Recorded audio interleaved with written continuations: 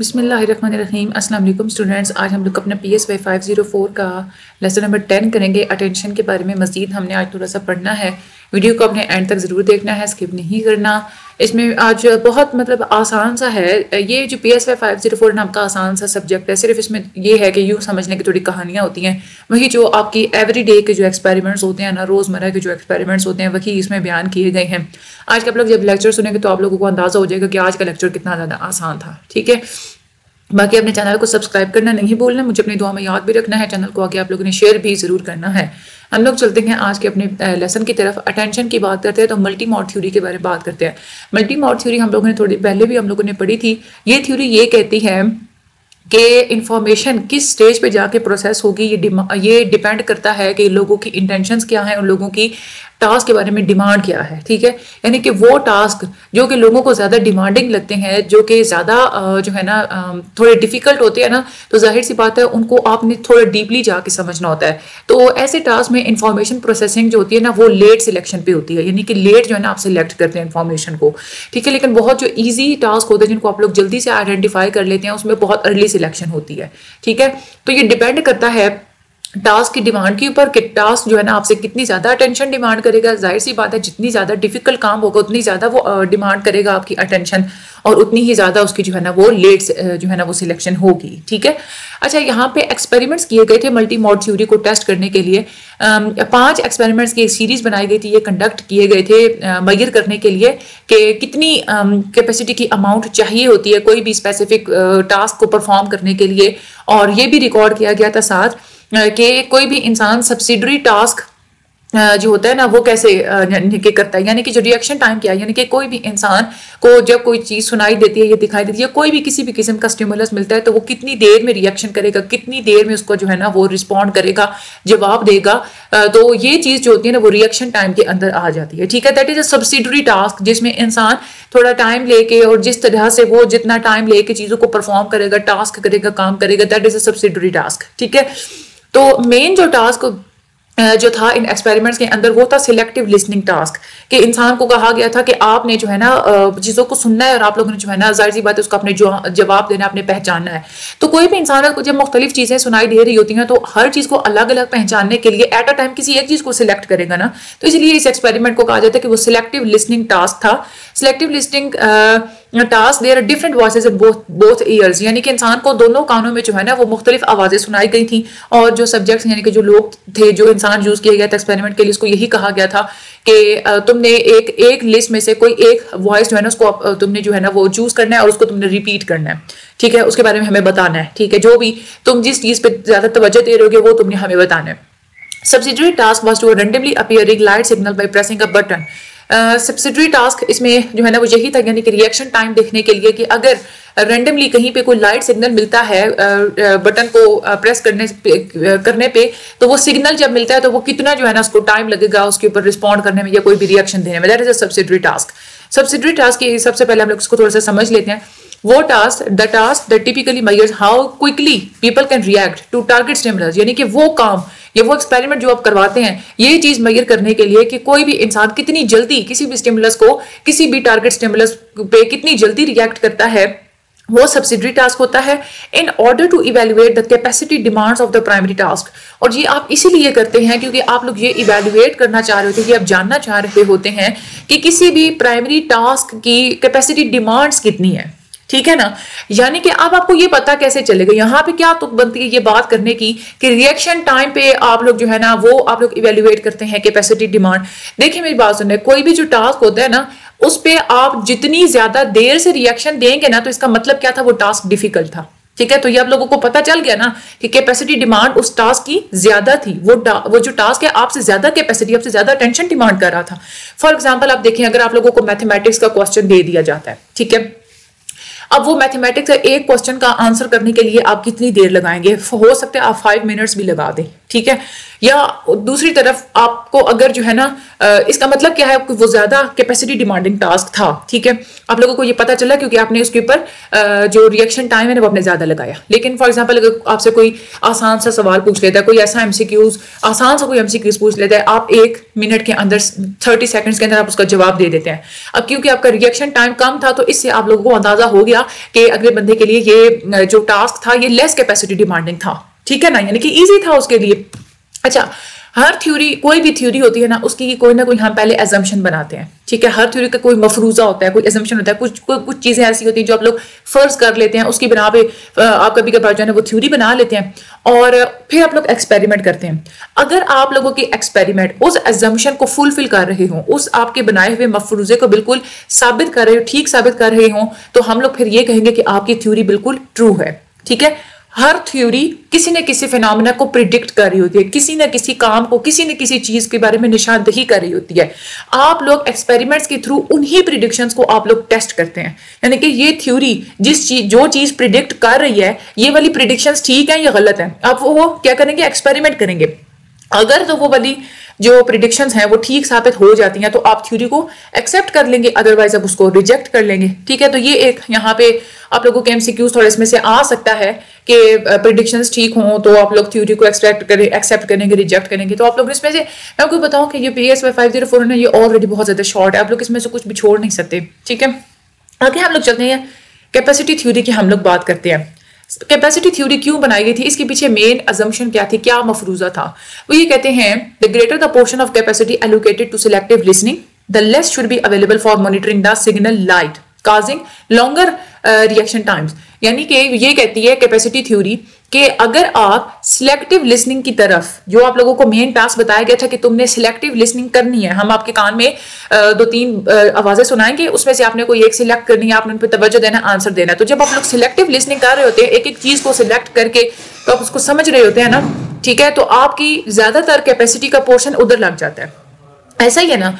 तो ज़्यादातर क्योंकि आप लोगों की कैपेसिटी का पोर्शन वहाँ लग गया तो थोड़ी सी कैपेसिटी पीछे बच जाएगी लाइट सिग्नल को मॉनिटर करने के लिए। ठीक है? तो लाइट सिग्नल को मॉनिटर करने के लिए, क्योंकि आपके पास कैपेसिटी थोड़ी रह गई तो आप क्या करेंगे? आपका रिएक्शन टाइम ज़्यादा हो जाएगा। यानी कि पहले आप लोगों को लाइट का सिग्नल एक मिलता है, ठीक है? आप फाइव सेकंड के अंदर अंदर उसका जो है ना, वो रिस्पॉन्ड कर देते हैं, क्योंकि आप लोग जल्दी से डिटेक्ट कर लेते हैं, क्योंकि आप सारी की सारी अटेंशन आपकी होती ही लाइट सिग्नल के ऊपर आपको फ़ौरन से पता चल जाता है।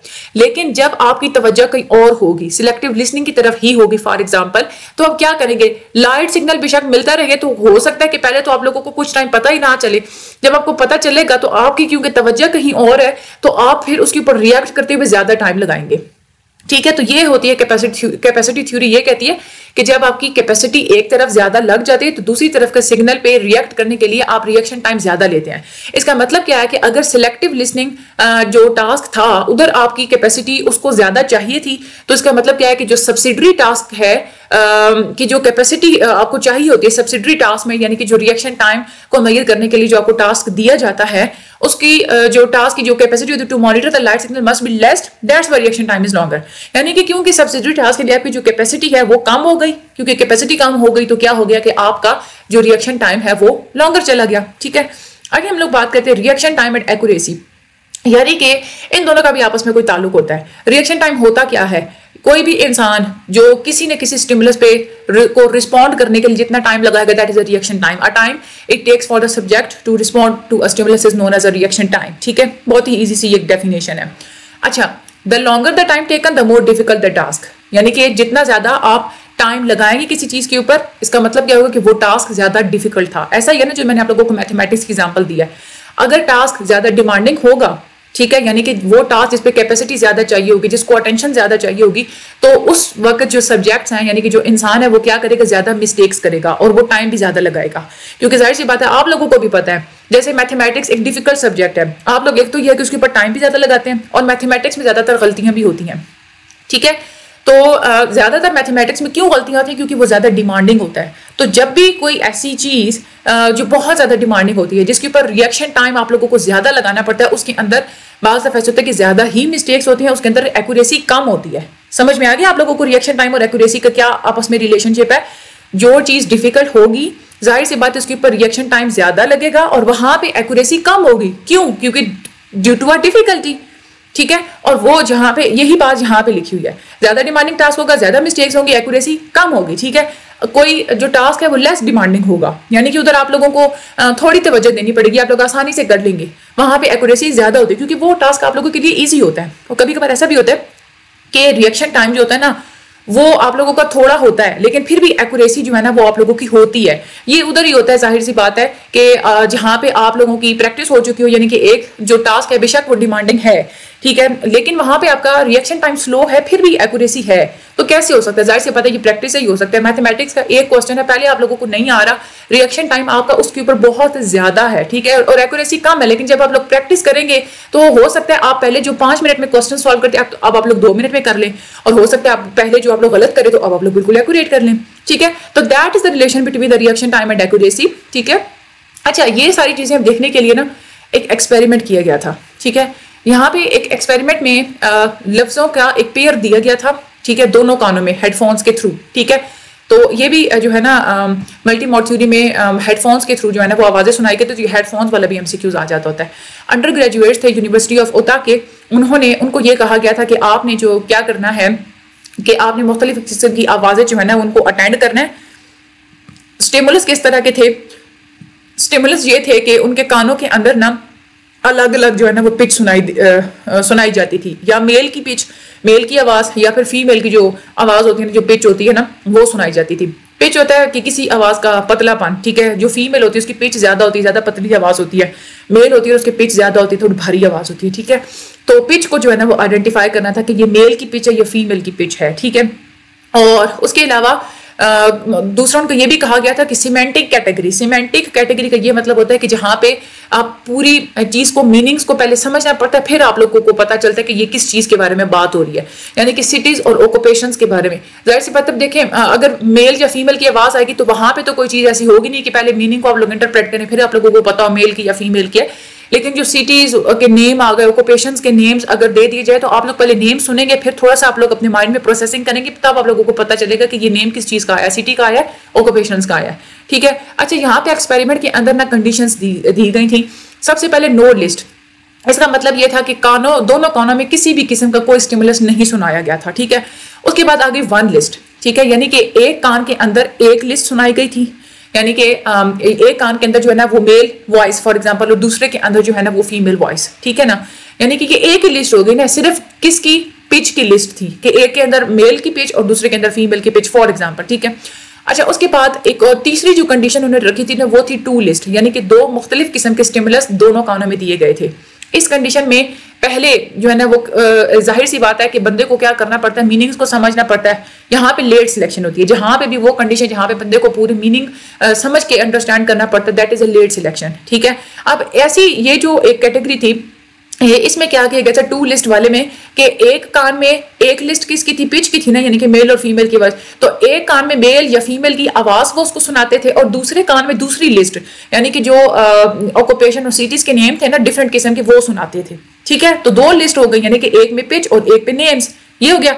अच्छा यहाँ पे जो एक्सपेरिमेंट था, इन्होंने यहाँ पे ये बात देखी थी कि those using pitch male and female were using physical information यानी कि जिस कान में मेल और फीमेल की पिच सुनाई दी जा रही है। वो एक फ़िज़िकल चीज़ है ना, एक फ़िज़िकल इन्फॉर्मेशन है। उसको इंटरप्रेट उसमें कोई मीनिंग्स वाली चीज़ तो है नहीं, ठीक है? तो जब भी कोई चीज़ के अंदर मीनिंग नहीं होते, वहाँ पे क्या होता है? अगली सिलेक्शन होती है। और वो सेंसरी मोड ऑफ़ सिलेक्शन होता है कि आपकी सेंसेस ही खुद ही उसको जो है ना, वो डिटेक्ट कर लेती हैं, खुद इस चीज़ को, ठीक है? तो दैट इज़ ये सेंसरी मोड ऑफ़ सिलेक्शन था। जहाँ पे पिच यूज़ की जा रही थी। क्या था? वो फ़िज़िकल इंफॉर्मेशन थी अर्ली सिलेक्शन हो रही थी और सेंसरी सिलेक्शन हो रही थी। क्योंकि जो दो मैसेजेस थे, वो जो है ना, एक दूसरे से फिजिकली डिफरेंट थे, ठीक है? फिजिकली डिफरेंट थे ना, यानी कि एक मेल की पिच है एक फीमेल की पिच है लेकिन दूसरी दो दो अलग अलग चीज़ें, लेकिन अगर दूसरी चीज़ देखे, दूसरे काम में सिटीज़ और ऑकोपेशन के नेम थे। ठीक है? उसमें क्या करता है कि इंसान, ज़ाहिर सी बात है, आप लोगों को कोई नेम सिटी या ऑक्यूपेशन का बताया जाए तो पहले आप लोग माइंड के अंदर एक प्रोसेसिंग करेंगे, आप पूरी अच्छे तरीके से समझेंगे कि ये जो चीज़ मुझे बताई गई थी, ये वाकई किसी ऑक्यूपेशन का नेम था किसी सिटी का नेम था। यहाँ पे अपने मीनिंग को समझना होता है तो वहाँ पे क्या होती है? लेट सिलेक्शन होती है और ये सीमेंटिक मोड ऑफ़ सिलेक्शन होता है। सीमेंटिक मोड ऑफ़ सिलेक्शन का मतलब ये होता है कि मीनिंग को पहले इंटरप्रेट करके फिर आप लोग सिलेक्ट करते हैं, ठीक है? क्योंकि यहाँ पे ज़रूरी होता है कि मीनिंग्स को जानना इससे पहले कि आप उसको किसी कैटेगरी में रखें कि हाँ ये सिटी का नेम है, ये ओकोपेशन का नेम है, ठीक है? तो ये वाली जो है ना, वो मल्टी मोड थ्योरी होती है, क्योंकि यहाँ पे क्या हो रहा है, हमने ये देखा था कि इंफॉर्मेशन की सिलेक्शन की जो स्टेज होती है, वो डिपेंड करता है कि कोई टास्क कितना ज़्यादा डिमांडिंग है। हमने ये वाले चैप्टर के शुरू में पढ़ लिया ना मल्टी मोड थ्योरी की डेफिनेशन तो यहाँ पे अब देखें, ये जो टास्क था, इसमें क्या था? ये लेस डिमांडिंग था, अगली सिलेक्शन हो गई, ठीक है? ये वाला लेट था लेट जो है वो मतलब इसमें ज़्यादा ज़्यादा डिमांडिंग था ना मीनिंग को समझना था तो यहाँ पे क्या थी? लेट सिलेक्शन थी। ठीक है? तो मल्टी मोड थ्योरी यही कहती है कि ज़्यादा कैपेसिटी अगर चाहिए होती है किसी भी चीज़ को परफॉर्म करने के लिए तो वहाँ पे लेट मोड ऑफ़ सिलेक्शन होती है। ठीक है? अब सिमेंटिक मोड जब यूज़ किया गया था, वहाँ पे रिएक्शन टाइम भी स्लो था। ठीक है? यानी कि reaction times to the light signal क्योंकि यानी कि जब सिमेंटिक मोड चल रहा था ना, जहाँ पे इंसान ने मीनिंग को इंटरप्रेट करना था उस वक्त भी उसको एक लाइट सिग्नल दिया गया था। तो लाइट सिग्नल के ऊपर फिर बंदे ने स्लो बहुत रिएक्ट किया था, यानी कि रिएक्शन टाइम जो है ना, वो स्लोवर था, ठीक है? और ज़्यादातर एरर्स भी थे इस टास्क के अंदर, क्योंकि हमने ये पढ़ा कि जो ज़्यादा डिमांडिंग टास्क होता है ना वहाँ पे क्या होता है कि एरर्स और गलतियाँ जो है वो ज़्यादा होती हैं। तो जहाँ पे उसने मीनिंग्स को इंटरप्रेट करना था, वहाँ पे क्या था? उसने ज़्यादा गलतियाँ की थी और उसके अलावा जो लाइट के सिग्नल्स को डिटेक्ट करना था ना, उस पर उसने देर भी ज़्यादा लगाई थी। क्यों? क्योंकि उसकी अटेंशन ज़्यादा थी मीनिंग्स को इंटरप्रेट करने की तरफ़। ठीक है कि हम लोग सीमेंटिक मोड की बात करें जहाँ पे मीनिंग्स उसने करना था, ठीक है? You need more condition it was late selection it requires more capacity जब जब आप लोगों को ज़्यादा कंडीशंस दे दी जाती हैं तो आप क्या होती है? लेट सिलेक्शन होती है क्योंकि आपकी जो अटेंशन होती है वो डिवाइड हो चुकी होती है और लेट सिलेक्शन होती है और उसमें ज़्यादा कैपेसिटी भी चाहिए होती है। अच्छा जब कोई भी लिस्ट नहीं दी गई थी बंदे को, उस वक्त उसकी परफॉर्मेंस क्या थी? बेस्ट थी। यानी कि जब उसकी जो है ना कानों में कोई चीज़ नहीं सुनाई जा रही थी। उस वक्त जब उसको लाइट सिग्नल दिया गया था तो बिल्कुल उसकी बेस्ट परफॉर्मेंस फॉरन से उसने उसके ऊपर जो है वो रिएक्शन दिया था। जब वन लिस्ट कंडीशन थी, फिर परफॉर्मेंस क्या थी? बेटर थी। यानी कि थोड़ी सी उसकी कम हो गई थी। सिर्फ़ एक कंडीशन थी ना, फिर भी एक कंडीशन की तरफ़ उसकी कैपेसिटी लगी, लेकिन थोड़ी मतलब थोड़ी अभी बचती थी, ठीक है? तो इसीलिए उसकी परफॉर्मेंस बेटर थी। उसने जो जो है ना, वो जवाब दिया था लाइट सिग्नल पे, लेकिन वो थोड़ी नो लिस्ट वाले मुकाबले में थोड़ा कम था, लेकिन फिर भी बेटर था। लेकिन जहाँ पे दो लिस्ट की कंडीशन थी ठीक है, जहाँ पे आवाज़ भी सुनाई जा रही थी और साथ में उसके जो है ना वर्ड्स भी बताए जा रहे थे, वहाँ पे उसकी परफॉर्मेंस सबसे ज़्यादा बुरी थी, क्योंकि वो एट अ टाइम पहले ही दो काम कर रहा था। वो दो काम पहले ही उसके बहुत ज़्यादा डिमांडिंग थे। तो जो डिमांडिंग होते हैं, फिर वहाँ पे ज़ाहिर सी बात है, एक तो ये है कि वहाँ पे वो गलतियाँ भी करता है, उसके लिए डिफ़िकल्ट होता है तो गलतियाँ भी करता है, वहाँ पे परफॉर्मेंस का जो रिएक्शन टाइम जो होता है ना, वो भी ज़्यादा होता है, यानी कि देर से रिएक्ट करेगा, ठीक है? अच्छा यहाँ पे जो सब्सिडरी टास्क के रिज़ल्ट अगर हम लोग देखें, जब कोई भी लिस्ट नहीं थी तो तब उसने कितने मिनट एम एस में आ, कितने सेकंड में उसने जो है ना वो रिप्लाई किया था थ्री टेन में ठीक है?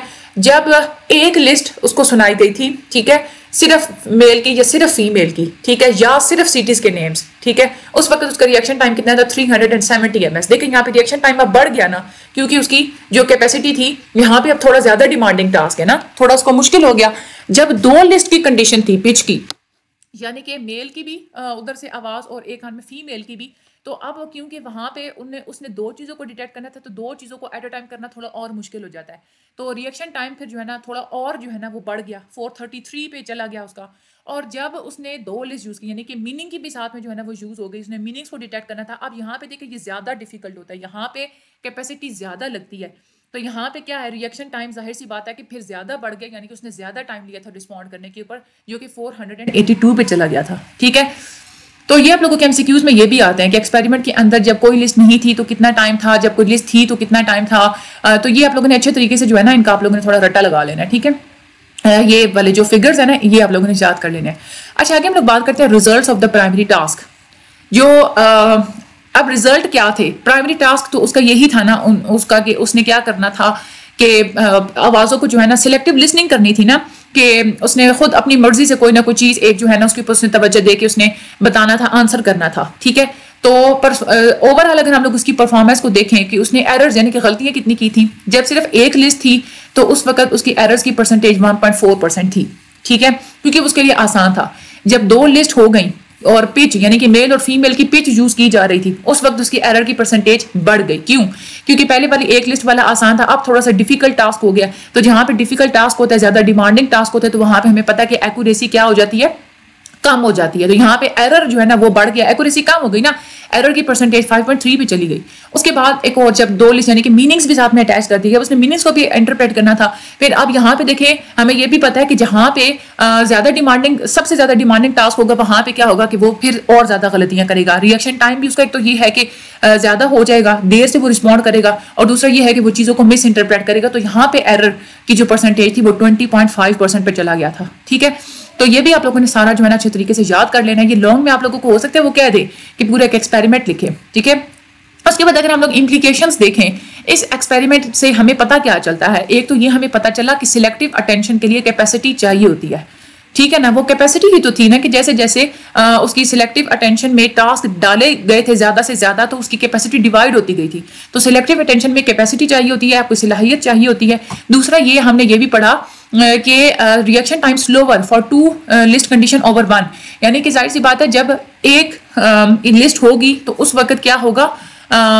रिएक्शन uh, टाइम जो है ना वो क्या होगा? ज़्यादा होगा। यानी कि यहाँ पे नहीं reaction time slower for two list condition यानी कि जब आप लोग उसको दो लिस्ट की कंडीशन दे देंगे उस वक्त वो क्या करेगा? आहिस्ता रिस्पॉन्ड करेगा। ऐसा ही है ना एक लिस्ट होगी तो वो ज़्यादा जल्दी से रिस्पॉन्ड करेगा। ऐसा ही था। उसके बाद हमने तीसरी चीज़ हमें एक्सपेरिमेंट से यह भी पता चला कि amount of the capacity required increases from early to late selection यानी कि जहाँ पे अर्ली सिलेक्शन हो रही होती है, वहाँ पे आपकी कैपेसिटी कम चाहिए होती है, लेकिन जैसे जैसे आप लोग लेट सिलेक्शन की तरफ़ मूव करते हैं, क्योंकि हमें पता है लेट सिलेक्शन तभी होती है जब अपने चीज़ों को इंटरप्रेट करना होता है मीनिंग्स को समझना होता है। तो जब आप लोग लेट सिलेक्शन की तरफ़ जैसे जैसे आप लोग मूव करेंगे तो आप लोगों की अमाउंट ऑफ़ कैपेसिटी क्या हो जाएगी? इंक्रीज होती जाएगी, यानी कि आपकी कैपेसिटी ज़्यादा चाहिए होगी अटेंशन ज़्यादा चाहिए होगी, ठीक है? उसके बाद reaction time slower for meaning than for pitch यानी कि पिच को रिकॉग्नाइज करना आसान था। इंसान का जो रिएक्शन टाइम है ना, वो बहुत ज़्यादा था। यानी कि बहुत जल्दी से वो रिस्पॉन्ड कर देता था। लेकिन जहाँ पे मीनिंग्स को करना था, वहाँ पे उसका रिएक्शन टाइम जो है ना, वो कम था। यानी कि वो रिएक्शन करते हुए ज़्यादा देर लगा रहा था। ठीक है? यानी कि स्लो स्लो जो है ना, वो रिएक्ट कर रहा था। अब पूरी अगर हम लोग समरी यहाँ पे देखें, इसका मतलब क्या है? एक तो ये कि अटेंशन इज़ फ्लेक्सिबल कि ये ऐसा नहीं होता कि खुद बखुद खुद ही कुदरती तौर पे आपकी अटेंशन कहीं पे भी लग जाए। आप लोग अपनी मर्ज़ी से सिलेक्ट करते हैं कि मैंने किस चीज़ के ऊपर अटेंशन देनी है। एक्सपेरिमेंट के अंदर यही किया ना तो अटेंशन एक तो ये है कि फ्लेक्सिबल है. People have the choice how best to use it लोगों के पास हमेशा ये चॉइस होती है, अपनी मर्ज़ी से वो चूज़ करते हैं कि मैंने कैसे बेहतरीन अंदाज में इसको यूज़ करना है. People can allocate attention to the task according to their will हमेशा हर इंसान अपनी अटेंशन को अपनी मर्ज़ी के मुताबिक किसी न किसी टास्क के ऊपर लगाता है और task difficulty degrees with practice जैसे जैसे आप लोग प्रैक्टिस करेंगे टास्क की डिफिकल्टी कम होती चली जाएगी. ठीक है? यह हमारे पूरे आज के लेसन की हो गई समरी अब इसमें से आप, आप लोगों को कोई भी अगर बात समझ में ना आए तो कमेंट सेक्शन में बताइएगा। अगर सही तरीके से समझ आ गई तो भी कमेंट सेक्शन में बताइएगा ठीक है? इस सब्जेक्ट के आप लोगों के मिड टर्म में जो है ना वो आप लोगों के ट्वेंटी टू लेसन है। तो इंशाल्लाह आप लोग टेंशन ना लें। आप लोगों के ये सारे जो है ना वो कंप्लीट हो जाएँगे। आसानी से इतना ज़्यादा कोई मुश्किल सब्जेक्ट नहीं है। ये ऐसा सब्जेक्ट है कि अगर आप लोगों ने लेक्चर्स लिए हुए होना तो आप लोग बहुत अच्छे मार्क्स ले सकते हैं क्योंकि इसमें सिर्फ़ कंसेप्ट है। इसमें रटलाइजेशन कोई भी चीज़ नहीं है। आपने सिर्फ़ अपनी वर्डिंग में देखना है। अब आप लोगों ने पूरे लेक्चर सुना है ना, आप पूरे इस लेसन को एक दफ़ा रीड कीजिएगा। आप रीड करें तो आप देखिएगा कि सारी चीज़ें वो होंगी जो आप लोगों के माइंड में मौजूद होंगी। ठीक है तो फिर कभी आप लोगों के माइंड से ये चीज़ें निकलेगी नहीं। चैनल को सब्सक्राइब करना मत भूलिएगा। अल्लाह ताला आप सब लोगों की मदद फरमाएँ, अल्लाह ताला आप सब लोगों के पेरेंट्स को खुशियाँ अता फरमाए ज़िंदगी अता फरमाए, आप लोगों को कामयाबी अता फरमाए। अल्लाह ताला हम सब लोगों को ईमान की दौलत से नवाजें। मुझे अपनी दुआ में याद रखिएगा। Thank you so much and अल्लाह हाफिज़।